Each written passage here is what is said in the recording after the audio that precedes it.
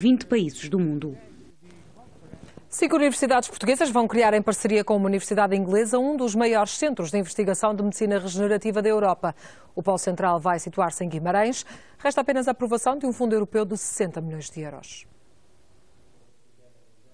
O projeto resulta de uma parceria entre várias universidades portuguesas.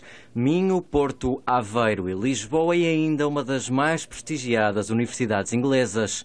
Em causa vai estar a investigação, principalmente de doenças cardiovasculares e neurodegenerativas. O objetivo é criar um centro que seja uma espécie de bandeira da ciência portuguesa, um centro que seja dos principais centros eh, internacionais nesta área e, particularmente, um centro que seja capaz eh, de não só criar conhecimento de topo nesta área de fronteira da ciência, mas ao mesmo tempo valorizá-lo e conseguir criar eh, produtos e terapias que possam ser utilizadas em pacientes. Para já decorre o concurso ao financiamento europeu. São precisos cerca de 60 milhões de euros para um projeto que vai empregar centenas de investigadores. Tendo o projeto financiado, segue-se uma fase de instalação do centro, começarmos a operar e depois sete anos da primeira fase de desenvolvimento do centro, ainda com financiamento europeu.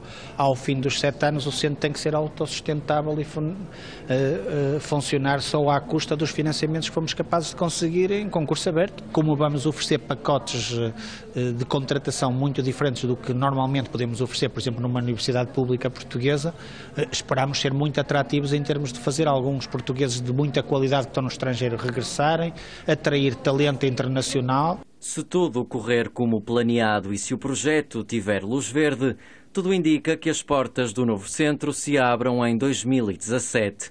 A sede vai ser em Guimarães, mas vão existir mais quatro polos em Portugal e um em Londres. As empresas